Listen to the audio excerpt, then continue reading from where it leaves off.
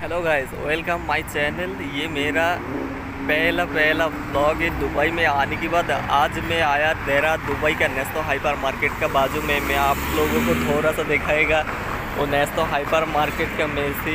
सीधा इस टाइम में जो अभी आप लोगों को जो बिल्डिंग नज़र आ रहा है और जो है वो है हाइपर मार्केट देहरा दुबई में। चलिए, मैं आप लोगों को आज दिखाएगा दुबई का कुछ कुछ खास चीज़ जो लोग दुबई में पहली बार आएगा, जो रूल्स आपको फॉलो करना होगा। तो उम्मीद है आप लोग आज मेरा पहला ब्लॉग में मुझे ज़्यादा से ज़्यादा सपोर्ट करेगा। गैस दुबई में पहला जो रोल है वो रोल आप लोगों को मानना होगा पहला रोल है रोड में आप लोगों को क्रॉसिंग की टाइम और ट्रैफ़िक जो सिग्नल है ना, वो आप लोगों को बराबर देखना चाहिए, नहीं तो फाइन डालेगा।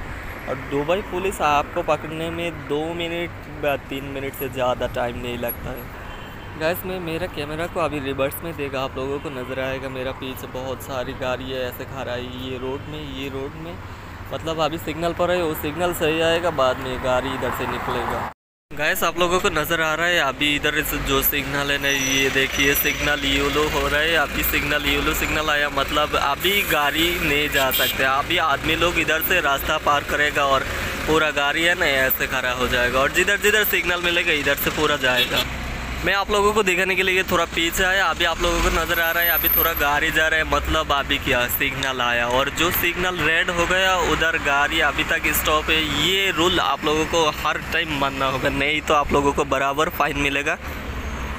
और ये फ़ाइन आपको कब लगा है कब किधर से मिला है आप लोगों को मालूम तक भी नहीं आएगा। जब आप लोग आपका कंट्री में जाने के लिए जाएगा एयरपोर्ट तब आपको पता चलेगा आपका आईडी में फ़ाइन आया। सो गैस पूरा आदमी को मैं रिक्वेस्ट करेगा आप लोग, ये दुबई का जो रूल्स है ना, वो बराबर देखना चाहिए, नहीं तो आप लोगों को फ़ाइन आ सकते उम्मीद है आज का मेरा ब्लॉग बहुत अच्छा लगा, बहुत अच्छा लगा तो सब्सक्राइब करिए लाइक करिए। अल्लाह हाफिज़।